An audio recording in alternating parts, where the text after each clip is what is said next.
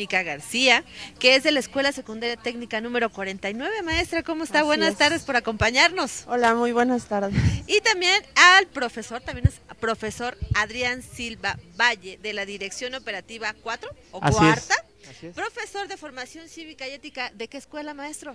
Pues eh, estoy en Tláhuac, nada más que ahorita estoy eh, con funciones en la dirección operativa precisamente, entonces, pero mi especialidad es formación cívica y ética y pues también andamos en los mismos en las mismas labores. Seguimos siendo maestros. Exactamente, sí, sí, así es. Ahora sí, vamos a platicar, ¿les parece bien? Adelante. venimos a platicar. ¿Qué nos van a presentar, maestros? Díganos. Pues mira, eh, desde hace, desde el 2011 aproximadamente, llevamos a cabo, llegamos a cabo un, un, un proyecto este, la editorial Ediciones Punto Fijo, que nos permitió pues llevar a, la, marcha o a la práctica dos intereses que teníamos eh, Sandra y yo de buscar eh, plasmar en, algún, en algún trabajo que es la educación ambiental para los estudiantes de educación secundaria. ¿no?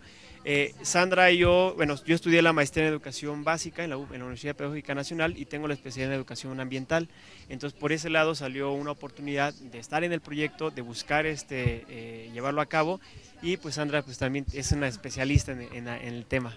Bueno, yo estudié igual en, la UPN, la maestría en educación ambiental. Entonces, este, mi formación es sobre ciencias, la de Adrián es sobre formación cívica y ética y nos complementamos bastante bien en el trabajo y salieron estos dos libros de texto que son propuestas para trabajar en la educación secundaria con, con bastante enriquecidos por ambas visiones. Estamos viendo los Sí, sí, no, y digo, aquí valdría la pena decir que este, eh, la idea también del, proyecto surge porque logramos participar anteriormente en un proyecto de la CONAFE, eh, para un proyecto de, secundarias comunitarias. Entonces, en este proyecto, que fue un libro de unidades didácticas de aprendizaje independiente, le llamaban, era un proyecto para nivel nacional, entonces, a partir de eso es que logramos como tratar de impulsar, eh, vamos, con las ideas y con el aprendizaje que tuvimos en, esa, en ese momento, logramos impulsar y enriquecer ese trabajo que, nos, es una, al final de cuentas es una propuesta de trabajo eh, pues propia con a partir de los programas de cada una de las asignaturas, en el caso de, este que es para el Distrito Federal y en el caso de ese que es para el Estado de México y pues con una visión este, pues desde la vida cotidiana de lo que debe ser o lo que nosotros creemos que debe ser la educación ambiental.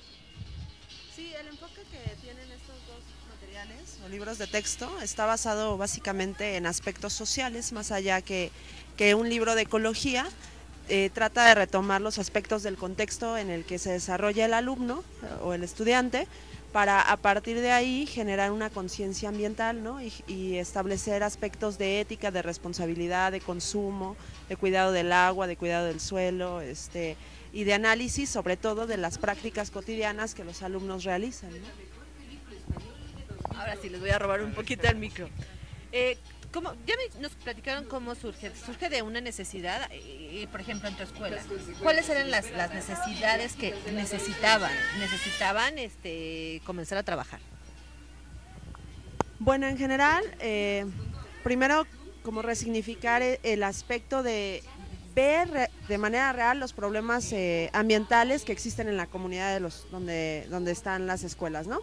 Y a partir de eso modificar sobre todo sus prácticas de consumo y de, eh, y de ética hacia el medio ambiente. Es decir, hay aspectos eh, realmente sencillos que podemos realizar en nuestra vida diaria, que los alumnos pueden realizar en su vida diaria y que pueden ser muy significativos ¿no? a, lo largo del tiempo, como el hecho de, de, no dejar aparatos conectados si no se están ocupando. ¿no? Entonces, el hecho de que el alumno analice este tipo de prácticas que son cotidianas y que pueden eh, generar aspectos ambientales importantes para mejorar la calidad del aire en nuestra ciudad, pues es como una necesidad apremiante. El cuidado del agua. Eh, es muy común ver eh, en las escuelas secundarias a las jovencitas que van a lavarse las manos jóvenes y hombres y mujeres y dejan la llave abierta, ¿no? Todo el tiempo o se están eh, eh, poniendo agua en el cabello.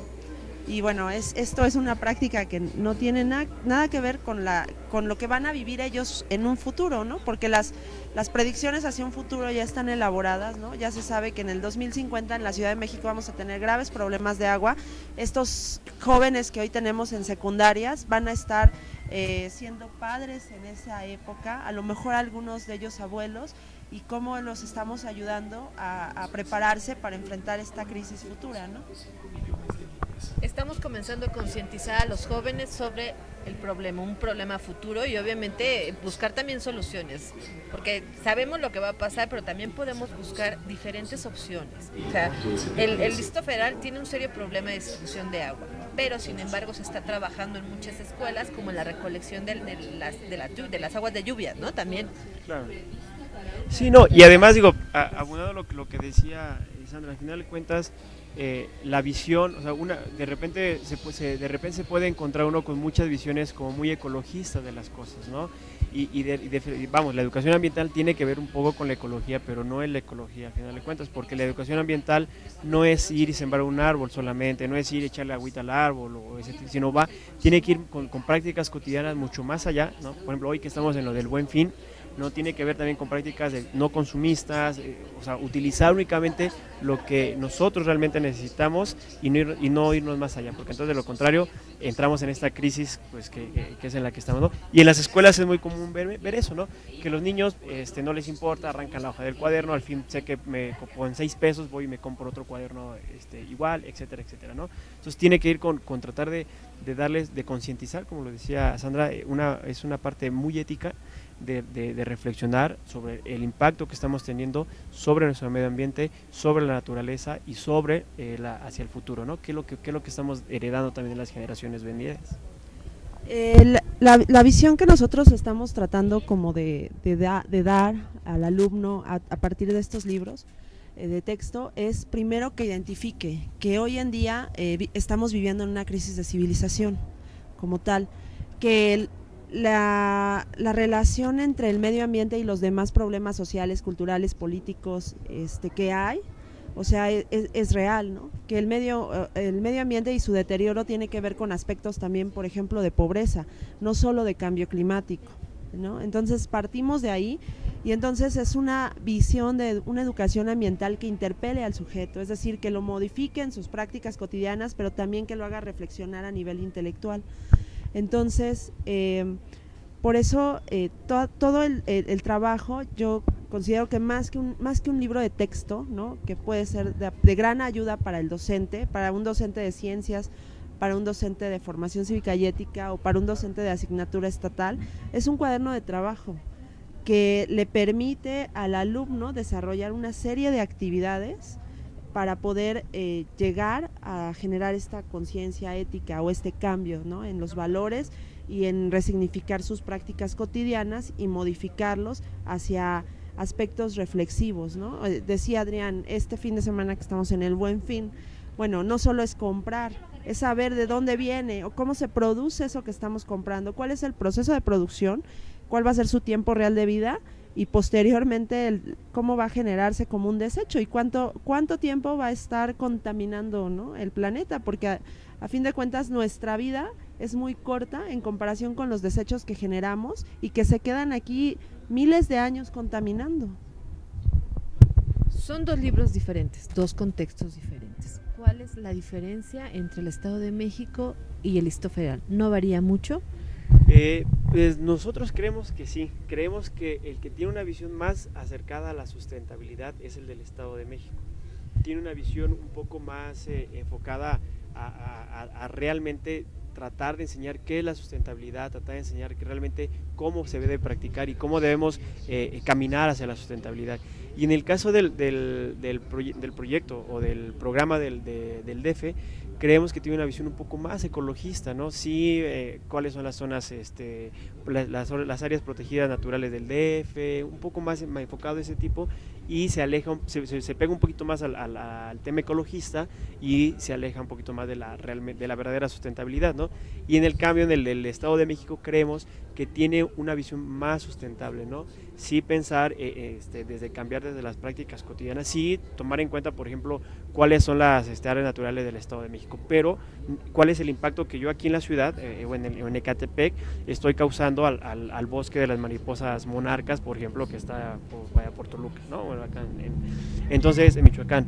Entonces, este, tiene un poco más, una visión diferente, ¿no? Entonces, a mí en lo personal me gusta más el programa del, del Estado. Los libros me gustan los dos, pero el programa me gusta más el del Estado de México. ¿Nos puedes explicar un poquito más qué contiene? O sea, cómo eh, está, se están trabajando, son visiones completamente diferentes. Este es sustentable y este es ecologista, por lo que entendí. Y este, ¿cuáles son, eh, eh cómo lo están trabajando en las escuelas? ¿Tiene, ¿Está comenzando a tener impacto en las escuelas?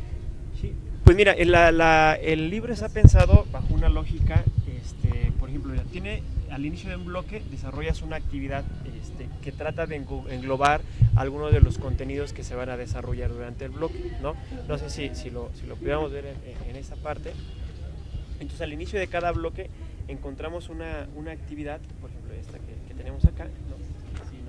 si nos, aquí, encontramos una actividad que entonces es una... Eh, que trata de integrar algunos de los, de los contenidos que se van a abordar durante el bloque y que nos sirven como tratar de recuperar los aprendizajes previos este, de los estudiantes. ¿no?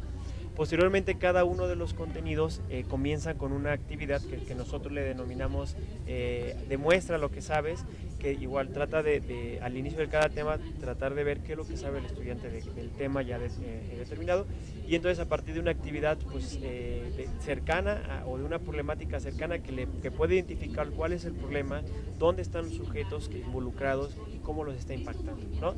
Y posteriormente ya viene el desarrollo del contenido, ¿no? que, le que, le denominamos aprende, que es entonces el desarrollo ya del, contenido como tal, y finalizamos ese contenido con una actividad que se llama aplica lo aprendido. ¿no? Entonces donde, donde se supone que lo que ya se desarrolló, lo que ya se reflexionó, entonces lo puedan aplicar en una actividad igual este, que les permita encontrar la relación entre lo que se, lo que se vio, entre su vida cotidiana y cuál es el resultado de ese aprendizaje. Entonces, más y al final del bloque. Al final, al final de cada bloque, este, existen el desarrollo de varias actividades que denominamos Activatics. Eh, las Activatics son sugerencias que se le dan al profesor ¿no? Eh, para trabajar con, los alumnos, pero vienen eh, perfectamente desarrolladas como para que se trabajen en el aula, ¿no? en el aula de medios específicamente y hay sugerencias sobre páginas electrónicas, sobre videos y viene con la actividad de contesta tal eh, cuestionario o cuadro sinóptico o realiza tal eh, investigación, ¿no? O saca específicamente tal cuestión de esta lectura. Y posteriormente eh, tenemos en el cierre del bloque una autoevaluación que nosotros la desarrollamos con base en la taxonomía de Bloom y entonces ahí eh, hay cuatro niveles de aprendizaje donde el alumno va a marcar en qué nivel considera que a qué nivel considera que llegó su aprendizaje, ¿no? Entonces ese es un aspecto que netamente va a llenar el, alumno y bueno eh, consideramos que independientemente de que este sí el plan el plan y programa de estudios está enfocado más hacia la ecología eh, consideramos que el aspecto ambiental no puede trabajarse así, no, no es la visión que debe de tener y entonces nosotros lo, enfocamos hacia aspectos sociales, ¿no? Eh, netamente. ¿Cuáles han, han, sido los cambios en los alumnos de trabajar este proyecto, maestra? Bueno, eh, sí, ha, sí ha habido cambios significativos en los alumnos cuando trabajas este tipo de contenidos, porque ellos empiezan a preguntarse cosas, ¿no? y consideramos que ese es el principal fundamento de la educación. No podemos estar educando para la respuesta, tenemos que educar para la pregunta, es decir, para que nuestros alumnos se cuestionen cosas, no se cuestionen el porqué de lo que sucede a su alrededor.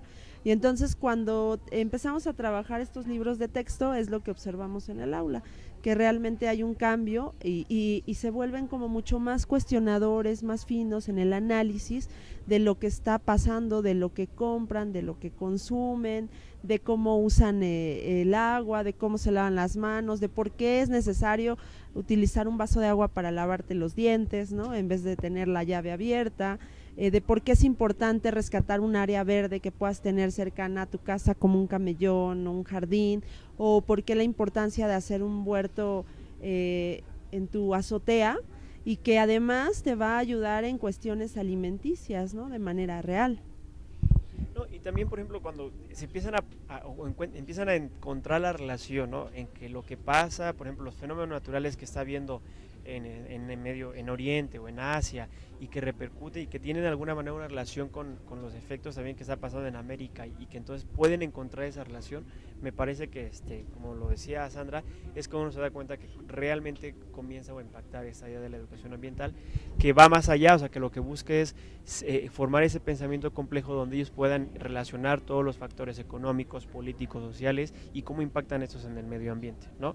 Y no entendiendo solo únicamente esto a la naturaleza, sino también la calidad de vida que nosotros tenemos, porque al final de cuentas eh, cada, ellos y o sea, todas las personas somos parte del medio ambiente y, entonces por lo tanto nos vemos afectados y nuestra calidad de vida también se ve eh, dañada cuando no hay una buena calidad de, ambiental.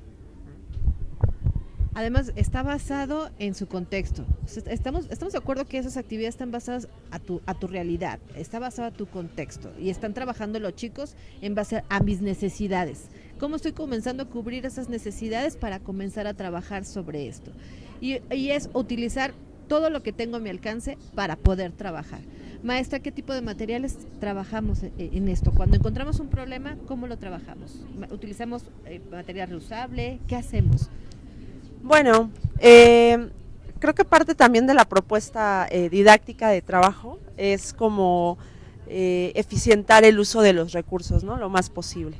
Entonces, los chavos también se vuelven muy creativos en el uso de materiales y sí empiezan a cambiar cuestiones importantes, como lo que decía Adrián, ¿no? O sea, para, para un alumno es muy fácil arrancar una hoja porque vas a la papelería y compras otro cuaderno pero el hecho de que veas que esa hoja que, estás arrancando te va a impactar posteriormente a ti y a tus hijos, eh, cambia el sentido, ¿no? Entonces, eh, por, por, lo menos yo en mis alumnos sí he visto ese pequeño cambio de que ahora las hojas saben que se usan al 100%, ¿no? O sea, que no voy a arrancar una hoja nada más porque sí, que no porque ayer me quedé a la mitad de la hoja y hoy empezamos otro tema, voy a empezar en la siguiente, ¿no? Entonces, eh, esos pequeños cambios eh, pueden ser muy significativos. Y sí se ha eficientado el uso de los recursos. En ambas propuestas de trabajo hay, actividades que se trabajan sobre todo con materiales reciclados. ¿no? Hay una propuesta en la cual se, plantea generar un jardín eh, o un huerto, pero a partir de, de usar el PET como macetas. ¿no? Entonces, este, hay otra propuesta donde se le dice al alumno, ok, haz una campaña eh, para, separar la basura. Eh, claro, separar la basura en realidad no es el, no es el fin, ayuda, ¿no? Más bien, consume menos, pero, pero la basura, la poca basura que produzcamos, sepárala. Y entonces a partir de, de esta visión, bueno, genera tus propios botes de basura, pero a partir de materiales reciclados. Y entonces empiezan los chicos a pensar y a transformar estas, estas prácticas cotidianas, ¿no? Yo, eh, por ejemplo, en, la escuela donde laboro, estamos trabajando un jardín vertical, pero aunado al jardín vertical, los jóvenes decidieron empezar a colectar llantas para plantar otras, eh, otras especies de hortalizas en la escuela. Y entonces estas llantas pues las decoran, las pintan, entonces se involucran aspectos eh, de no solo de saber, sino de hacer y de ser, ¿no? Y de modificar este, las prácticas cotidianas de manera real. Pero están trabajando en la escuela. En la casa, ¿cómo están llevando estas actividades? Fíjate que a nivel casa, eh, sí, he, bueno, yo de manera personal he recibido comentarios sobre todo de sus papás, ¿no? Porque sí hay como muchos aspectos en los cuales, pues, la propuesta está aquí. Como la maneja el docente ya es independiente, sin embargo, creo que Adrián y yo sí, sí somos como de esta parte de involucrar a los padres de familia, porque independientemente de que el niño lo trabaje, el papá es el que va a manejar aspectos de alimentación, ¿no? O sea, tú le puedes decir a, este al alumno, ¿no? Es que es muy bueno que hagas un huerto urbano porque la comida orgánica es más nutritiva, etcétera. Pero en realidad, ¿quién alimenta a nuestros alumnos? Pues sus papás. Entonces los tienes que involucrar en el trabajo diario. Y la respuesta de los padres ha sido como muy positiva, ¿no? Desde se fijan más o son más meticulosos en eh, cuando van al súper a comprar los alimentos hasta lo que les están preparando, ¿no? Y entender cómo, cómo lo que lo que le dan a sus hijos como un alimento que puede parecer, que tendría que ser un acto de amor, puede en realidad generarles muchos problemas a futuro, ¿no? Y, también te encuentras con, con anécdotas o con comentarios que este pues que los niños llegan y dicen eh, es que es que es que es que mis papás ya les dije que pero no me hacen caso maestro. Ya les dije que no se vayan así o que tengan más cuidado que reciclen el papel el agua, o sea, hay que gastar menos agua. Pequeñas, pequeñas como acciones. Y yo le dije, pero no quiere, maestro, ¿no? Entonces, de, repente, pues eso te da muestra de la resistencia que hay de parte de, todas las personas. De los adultos. De, no querer cambiarlo, ¿no? Entonces, sin embargo, este, pues no, pues no, hay que estar, ¿no? Hay que estar, hay que estar, hay que estar. Y, ellos yo creo que poco a poco como que lo van a entender, lo van asimilando. Algo que yo también creo que, creo que es importante también es que tiene que ver también con este cambio como de actitud, ¿no? De que donde ellos entienden, eh, eh, se, sientan parte de, este planeta, se sientan parte de, lo que, o sea, que nosotros al final de cuentas somos parte de todo esto y que todo lo que dañamos también nos perjudica. Entonces cuando de repente cuando dicen, no maestro, es que eso que están haciendo también nos va a dañar a nosotros, significa o te habla de que más o menos han ido asimilando esta relación y esta conexión que tenemos con el ámbito natural. ¿Están trabajando en otras escuelas con este, este proyecto, este programa? Sí, sí están trabajando, sí, sí están trabajando, lo hemos estado tratando este, de, ir más o menos piloteando, de repente es complicado pues estar en, contacto con, bueno, por las actividades de, cada quien, estar en contacto con los maestros para ver cuáles son los, los resultados y la evaluación que tienen al final de cuentas, ¿no? Pero sí se está trabajando, entonces este, al menos por el momento no hemos, si no hemos recibido quejas, quiere decir que no está, vamos por buen camino exactamente. Sí, bueno, los dos libros de texto están a la venta al público, eh, entonces este, sí, sí sabemos que hay escuelas donde los están trabajando. Incluso hemos eh, sabido por, por voz de la editorial que hay estados donde no se cuenta con un material de educación ambiental y entonces se han interesado en adquirir alguno de estos materiales y llevárselo a su estado para adaptarlo y trabajarlo, porque no hay un libro de texto para secundaria de educación ambiental, ¿no? En esos, en esos estados. Entonces, este, y sí, más o menos sabemos que, que el material se ha trabajado como con muy buenos resultados para los profesores, porque además también sabemos que muchos docentes no tienen como una formación real sobre lo que tendría que ser la educación ambiental y el libro de texto está diseñado ambos para ayudar al profesor y facilitarle el trabajo en el aula, ¿no? Sí, sobre todo yo creo que eso es importante, ¿no? Eh, digo, creo que la, eh, el aprendizaje que pudimos obtener en, el estudio de la educación ambiental, ¿no? sin, sin, sin ser este, eh, sin que haya, sin que hayamos agotado, pues, ¿no? Esa, esa área de estudio, pero me parece que sí tiene una visión pues realmente este, ambientalista o tiene o trata de tener una por, lo que decía Sandra no sabemos que la formación como es una es una asignatura estatal la puede dar el maestro de español la puede dar el maestro de matemáticas se le forma cívica quien sea por este porque así lo dice el plan de programa de estudio ¿no? que la asignatura estatal no tiene un perfil determinado ¿no? Entonces eh, debido a eso pues procuramos que, que sean este, materiales fácil de acceso, de un lenguaje bastante eh, accesible también a, los alumnos y que le permita al docente tener una visión integral de lo que es la educación ambiental y de esta manera pues, lo pueda trabajar de la mejor forma este, en el aula de clases con la misma visión este, que debería tener o que nosotros creemos que debe tener la educación ambiental. Pues ya estamos a punto de concluir. Preséntenos sus libros otra vez, recomiéndenos a todas las escuelas secundarias técnicas, no solo de aquí, ¿verdad? Todas las escuelas secundarias. Recomienden sus libros. Adelante. Bueno, pues es, es este, este libro de texto en específico eh, es un excelente material didáctico para trabajar eh, en la asignatura estatal Educación Ambiental para la Sustentabilidad y es del Estado de México. ¿no? Y este otro es eh, de igual está basado en la asignatura estatal con base en el plan y programa de estudios del Distrito Federal, Educación Ambiental para la Sustentabilidad. Muchas gracias. ¿Algún saludo que quieran mandar ya para despedirnos, maestra? Un saludo a la técnica 49 y a la 72. Maestro Adrián. Pues nada, pues muchas gracias por la invitación y este, de verdad esperamos que, que el material les lo puedan adquirir, que lo puedan conocer y sobre todo importante que nos puedan retroalimentar con sus opiniones, con, aquí viene el contacto que nos puedan eh, integrar y pues decirlo, ¿no? También para que en un futuro podamos cada vez perfeccionar más el material y podamos eh, hacerlo mejor, ¿no? Y pues un saludo a todas las escuelas secundarias del DF y pues andamos por aquí. Muchas gracias por la invitación. Y seguimos trabajando. Hoy estuvieron con nosotros aquí en la primera sección eh, del Bosque de Chapultepec en la vigésimo primera Semana Nacional de Ciencia y Tecnología de eh, CONACID, ¿verdad?